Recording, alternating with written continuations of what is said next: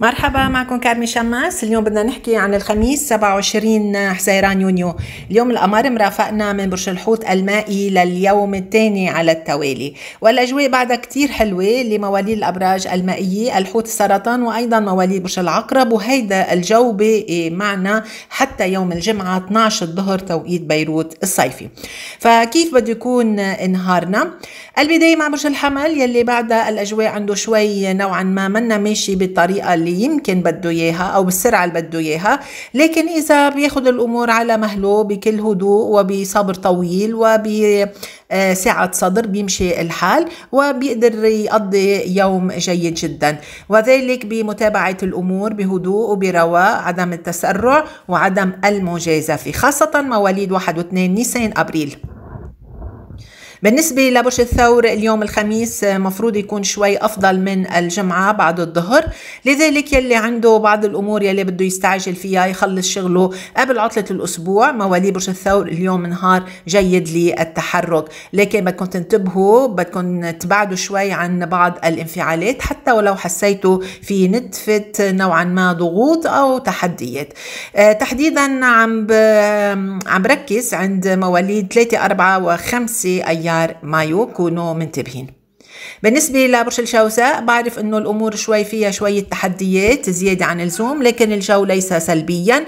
فقط امتحان لإلك تذكر إنه هذه السنة وهذه الفترة هي عم بتكافئك يعني هي فترة مكافآت. حتى ولو ما حسيتوا ما حصلتوا على المكافأة آه، بهالوقت لكنها مقبلة. لذلك كل فترة كل لحظة كل يوم اشتغلوا من كل قلبكم لأنه المكافأة رح توصلكم كلكم محظوظين بشكل خاص مواليد 28 29 30 أيار مايو.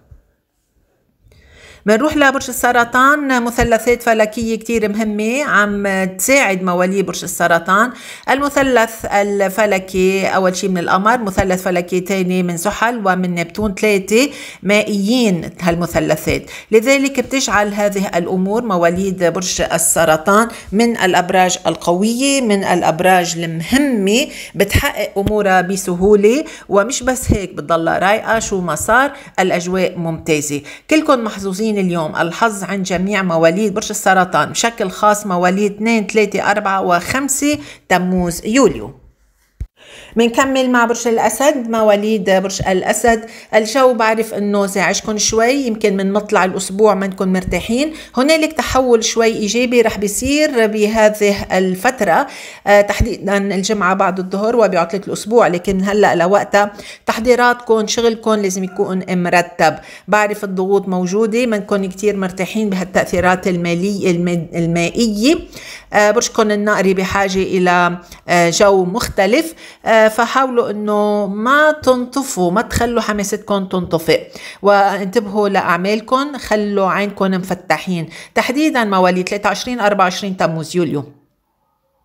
برج العذراء اليوم نهار بعتبره بعده متقلب بعد الظروف المتحدية لإلكم آه يمكن ما في شيء يمكن في لقاء معين عندكم اجتماع معين آه كنتوا مع ناس تعرفون أو بالشغل أو يمكن حتى ناس آه أصحابكم أهلكم بعض الأمور بتتحداكم لكن مواليد برج العذراء بهدوء برصانتهم بيقدروا يستوعبوا كل شيء عم بيصير. طولوا بالكم الجو سوف يتحسن ابتداء من الجمعة بعد الظهر. الأكثر حظا 18 19 وبعدها 20 سبتمبر.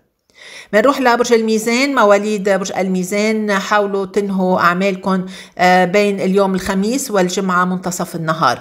لحتى تكونوا مرتاحين وكل شيء مزبطين أوضاعكم والأجواء بتمشي على ذوقكم.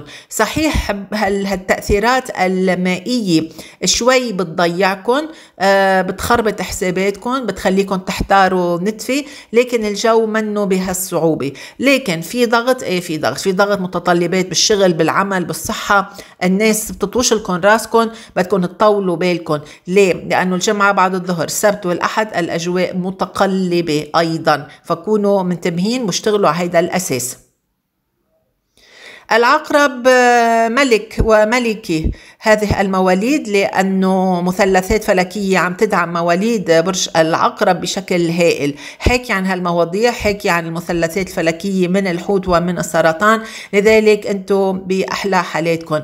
تمتعوا بهذه الأجواء الممتازة. حاولوا تحققوا انتصارات بأشغالكم المهمة الصعبة الأمور اللي ما عم تقدروا فعلا يعني لو بتقوم الدنيا وبتقعد مش ما كانت عم تزبط جربوا كرروا المحاولة. يوم ممتاز يوم الخميس. كلكم محظوظين وبعد مواليد أكتوبر بشكل خاص محظوظة.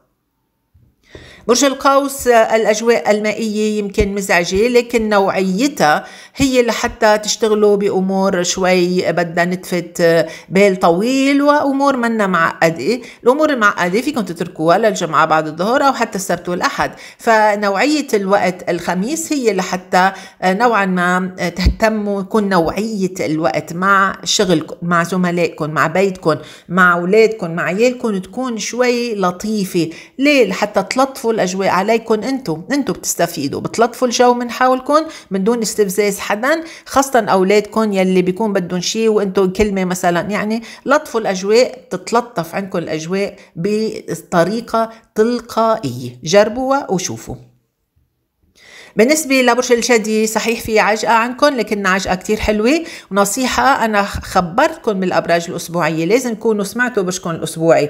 الأجواء عندكم اليوم وإن كانت معجوقة بتضل أريح وبالكم بضلوا مرتاح أكثر من عطلة الأسبوع. اسمعوا برجكم الأسبوعي. لذلك موالي برج الجدي معلش رتبوا شغلكم حتى ولو اضطريتوا تنظموا شغلكم بشكل إنه تفيقوا أبكر تبلشوا تخففوا شوي تقصروا من ال break اللي عندكم اياها معلش الأمور بيمشي حالها اليوم بالرغم من العجقات. بالنسبة لبرج الدلو بعد الأمور ماشي بطريقة جيدة. لا يوجد علامات استفهام عن على مواليد برج الدلو فقط طريقة التعاون التعاطي مع الآخرين وحلحلة الأمور و رؤية الأمور من أي منظار عم بتشوفوه. آه، مواليد برج الدلو كل ما كنتوا آه، عم تتعاملوا مع, مع الأمور بمرونة ومطاطية كبيرة. بيمشي حالكم وتضلكم مرتاحين وماشي حالكم بشكل ممتاز وبتطلعوا عم تربحوا شوي أكثر من السابق. الأكثر حظا فيها تكون 27 28 29 كانون الثاني يناير.